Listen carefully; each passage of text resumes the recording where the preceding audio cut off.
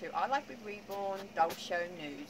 Now today we're going to discuss the ID and TS 2020 which will be next year's Doll Show which I know, I know, the last this year's show has only just finished but that doesn't stop us being able to look forward to next year's show. Um, so, so far the news that I have is that the show will take place at the same hotel as this year which is the Rosen Plaza in Orlando uh, this hotel was perfect. This hotel was perfect for the show. Um, it really was the most spectacular venue from the flooring to the, to the decor, to the staff, to the rooms. It was just amazing. So I'm so, so grateful and glad that it will be there again next year. Um, now I have heard rumours that the show is going to take place on the 13th and the 14th of June next year. So kind of pencil it in at the moment, but I will come back to you as soon as I have that exactly confirmed by the hosts of the show. Um, but yeah, 13th and 14th is what I'm hearing at the moment. So I will definitely come back to you about that. Um, we already have a list of people that have confirmed to be going next year.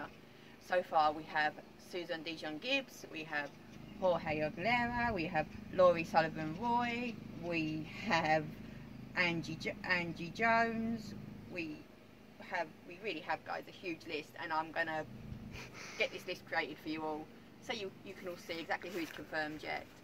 Um, there is some people that aren't going to be attending the show that haven't yet booked their places but again I'm hearing that they're going to book those this week so come the weekend, we will have a much longer list of people that will be attending, and one of them will be me.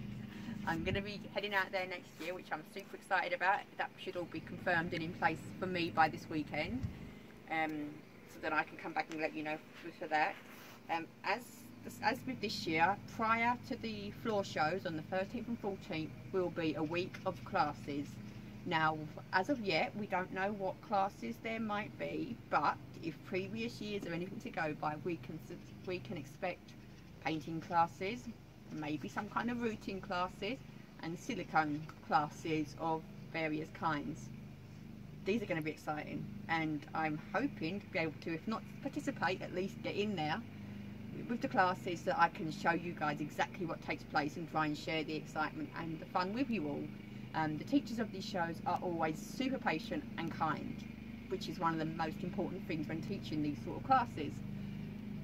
So, if you were thinking about wanting to take a class, maybe and couldn't get around to doing it this year, be sure to keep an eye out for next year's classes because I will tell you as soon as I hear what they what these are going to be and, and who they're going to be taught by.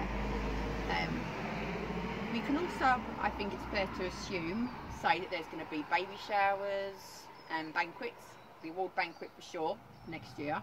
So I'm definitely going to have my name down on those as well. Um, so yeah, I'm really excited to see what else is going to happen for next year. There obviously hasn't been so much information released yet because it's only been a few days since the last show finished.